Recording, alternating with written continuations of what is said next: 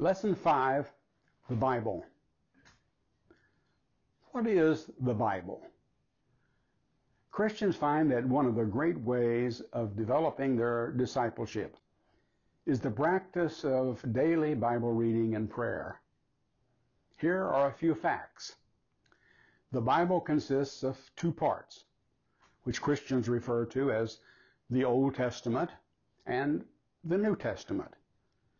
The Old Testament is much longer, nearly a thousand pages in the average printing, against the New Testament's uh, 300 pages. The Old Testament came into existence over a period of more than a millennium. The New within less than a century. The word testament is a translation of the word which also means covenant. It's a central Christian claim that the events concerning Jesus were the means by which, in fulfillment of ancient Israelite prophecy, the Creator God, Israel's God, renewed the covenant with Israel and thereby rescued the world. The Bible is a collection of 66 books written by some 40 different authors in three languages over a period of more than a thousand years. It contains a wide variety of literary genres, yet it has an amazing unity of outlook and purpose.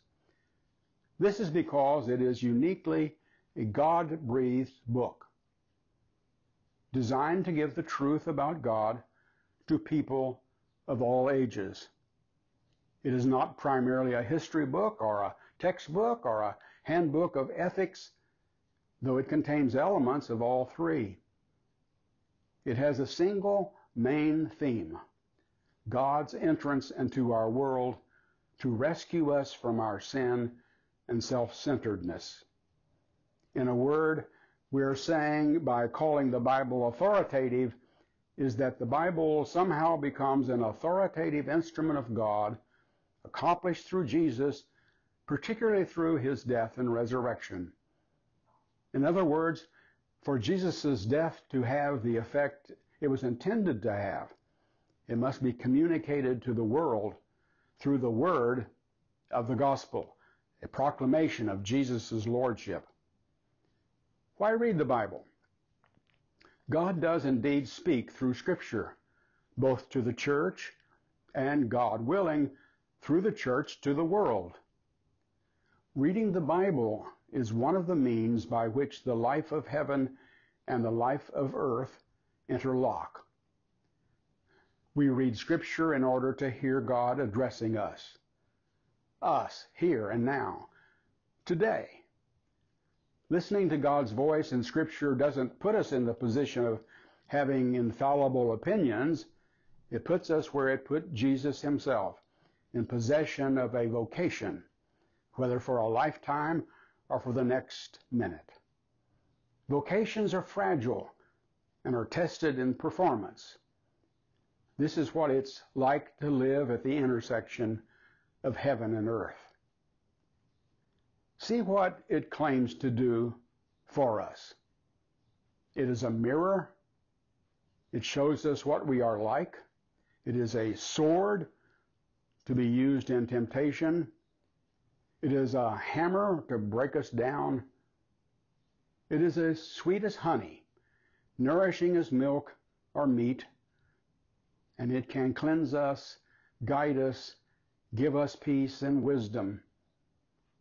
No wonder we cannot grow without it. It is a prime way of keeping in touch with the Lord. How do I read the scriptures? Get a Bible you can value. A modern translation is probably best. Get some Bible reading notes to help you. Daily bread are daily notes. Later, branch out on character studies, word studies, studies of great themes or of a whole book. But keep it regular. Apply it to yourself. Look for a promise to claim, a command to obey, new light to rejoice in, a warning to heed, a prayer to use, and our example to follow. Ask yourself, what did this mean to the original recipients, and how does it apply to me? And then turn what you have found into prayer and thanksgiving. Here's the verse to learn and memorize in this lesson. Psalm 119, 105. Your word is a lamp to my feet and light for my path. The Bible passage for study is Acts 8, 26 through 40. The following questions will aid you in your study. Number one, what was the traveler doing as he rode along? Why did he need help? Number two, how did Philip uh, help him? What might be the modern equivalent of the help Philip offered? Number three, what effect did this dawning understanding of God's truth have on the Ethiopian's life? Number four, what effect should a fresh understanding of the Bible have on us as we expose ourselves to it? And number five, where does the Holy Spirit come into all of this? Here are some books to add to your growing bookshelf. William Barclay, Introducing the Bible. Halke and Toon, NIV Bible Study Guide. Paul Little, Know What, Why You Believe. John Stott, Understanding the Bible. And Daily Bread and Daily Notes, notes Bible Reading Notes. Before we finish this lesson, let me add you create some daily quiet times. Turn to God. Find a quiet place and time when you can be alone and then set aside the business and distractions of the day in order to focus your mind on God, His truth, and His goodness. Remember that He loves you and wants to communicate with you, and that He is not trying to make the whole thing difficult. He is with you and only wants to see you open yourself to Him.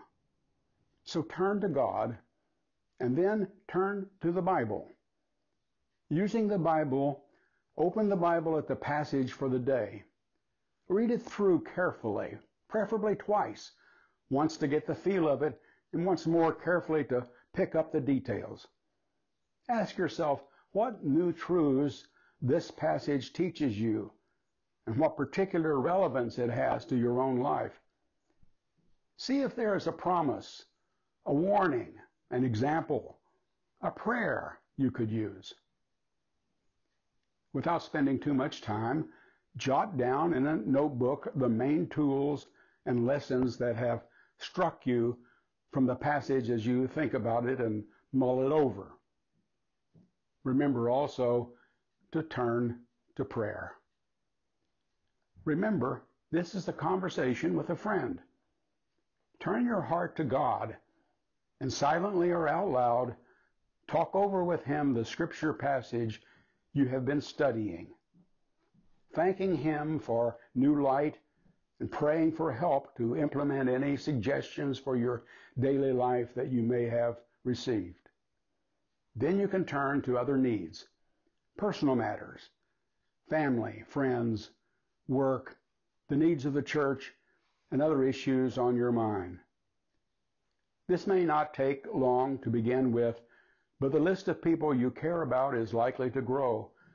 So you may need a separate page or two in your notebook to jot down people you don't want to forget to pray for. And finally, turn to the day, choose from the Bible passage a new few words you have found helpful and take them with you into the day. You may find yourself returning to them as the day wears on, and that will lift your eyes to the Lord.